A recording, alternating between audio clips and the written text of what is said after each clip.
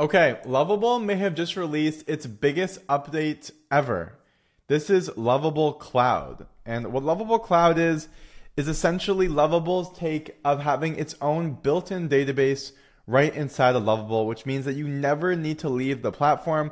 This makes things like managing users, saving data, connecting to other systems and APIs like, like OpenAI seamless through the backend of Lovable.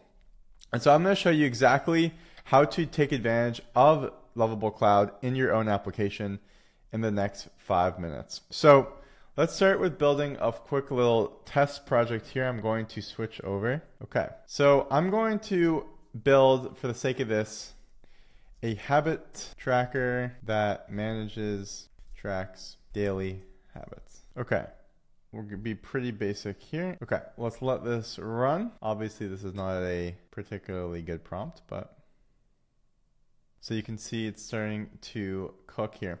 Now, one, while it's waiting, I'm going to show you a few different things that come with Lovable Cloud. Alongside Lovable Cloud, we also have speed, security, code, and analytics as new options, or some of them are new options. So I'll show you all those as well as how to utilize Lovable Cloud. So this is taking some time to, to load here. We'll let this build. Okay, so we have our habit tracker here. Obviously, it's not looking great, but this isn't the point. The point is to actually use Lovable Cloud. So in order to do this, we're going to go into here and we're going to click Enable Cloud, and you'll see that is now going to enable our Lovable Cloud here. And we're going to click Allow. Okay, so now we have Lovable Cloud in. And we can see we have a few things. We have the overview, which will show us everything from the database, the users, secrets, all this stuff. We have a detailed view of the databases where the tables will live once we have them. Users, as far as you know, signups, any actual user data. Storage, which includes uh, like images and files.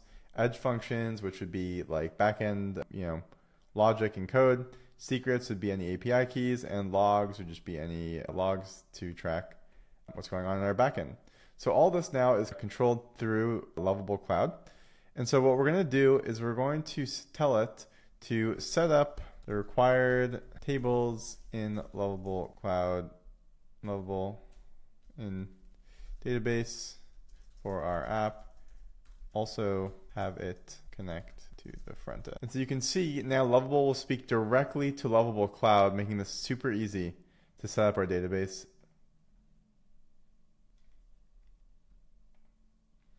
Click allow here. Okay, so now we can see that we have our database tables here. So it's created habit completions, habit, and profiles, which is used for the users. And if we go to the preview, it now looks like it also has created some auth. So we're gonna go and we'll sign up. Let's use the test here. Okay, perfect. So now you can see it's also cleared the database for us, which is really convenient. And so I'm gonna go in and add our first habit. So we'll do morning stretching. Sure, we'll use this and add this. And just like that, we'll do one more workout. Okay, awesome. So we have this. And if we go check our database here, we'll go to habits and you can see just like this, there it is. We have our two items. Now let's just play around and see if we can also show it when it's completed. Oh, there it is. Oh wow, and that even has a little cool little animation done for us. And if we go here to habits completed, it looks like just like that, we have them done already. And we can take a look at the row level security policies, which it makes actually really nice to be able to preview all of them. So you can kind of see, you know, different user IDs that are being pulled for checking to make sure it's the right user. Let's make this a little bit more sophisticated. So we also have our user here using the email that we used. Let's go ahead and add an edge function. So let's tell it to, let's see, let me think of something. Use open, use AI to suggest other habits based on the ones I've added. Make, add three to five suggestions each day in a, let's say, temporary design state. Okay. So this should try to create a edge function. We'll see. And also, you can see that it went ahead and, and added uh, Gemini as uh, it seems like it's built in right now to Lovable. Um, and so we don't even need to handle this. It's right now approved automatically. And so this is already going to be built into our app. You can see, I think it's going to start some edge functions here. Let's take a look. Okay, awesome. So now we have the suggest habits here.